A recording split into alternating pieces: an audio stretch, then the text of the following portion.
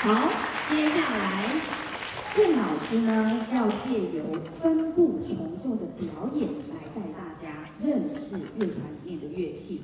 为什么呢？因为我现在要开始来招生了，所以呢，你看到这么棒、这么棒的一个小孩子的一个社团，有一个这么好的社团，我相信就是因为学校有提供一个非常优质的环境，以及强大的行政团队。还有优良的师资，所以呢，今天我们才会看到这样子的一个成绩的呈现。所以就那一句话，哎，什么楼上揪楼下，哦，老定揪老咖，然后左邻右舍触鼻变点，来赶快参加我们的管乐团。那如果要参加管乐团呢，大家知道我们管乐团里面有哪一些乐器，那这些乐器的特色又在哪里呢？来，大家放心。我绝对不会像音乐课本里面讲说那个乐器长什么样子，然后构造是什么，这样等下大家都睡着了。我们今天要特别一点，我们要从每一个乐乐器啊，把它拟人化，而且还要个性化。所以等一下透过这个乐器被拟人化跟个性化之后呢，您再来想想看，您的孩子器，然后让他来学这个乐器。首先啊，我要介绍是木管乐器家族中。人人都称赞最美的乐器，你们猜是什么乐器？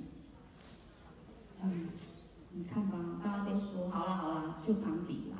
嗯，所以呀，如果你的孩子很爱美，你就让他来学长笛，因为当他拿到笛子上第一堂课的时候，他才会发现，哦，要吹长笛其实气要多到跟像等一下你看到那个最大声的低音号的气一样多呢。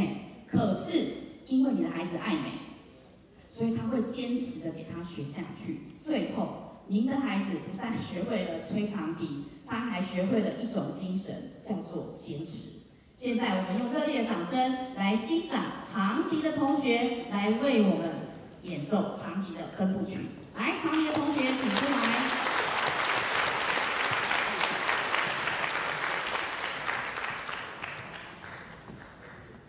你们都好有气质哦！学校制服怎么那么好看呢？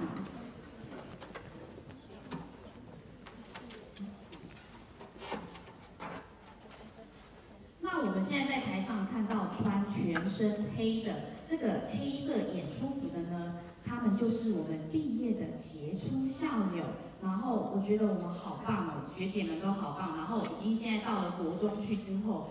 那听到我们这样子的音乐会，他们就是回来支援我们的学妹们，然后跟他们一起表演。那我们再给他们一次热烈的掌声。